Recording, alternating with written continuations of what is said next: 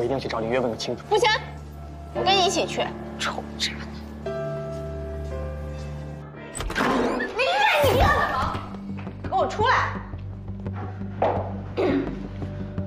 话说的这么难听，你还是那个有礼貌的顾小姐吗？不过也对，你本来就是这么一个嫉妒又无可奈何的人。嫉妒？我嫉妒你什么呀？我嫉妒你见不得人的身份。离开他吧，我不忍心你一个人承受这些伤害。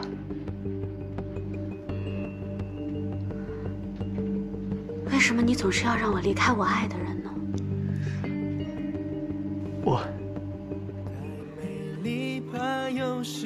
艾丽月，我听别人说，这个摩天轮到最高顶的时候许愿望就会一定成功。我们许愿吧。那都是骗小孩的。笨蛋，你这个时候呢，就应该听你朋友的。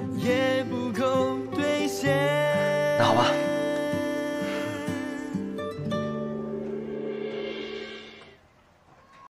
下雨。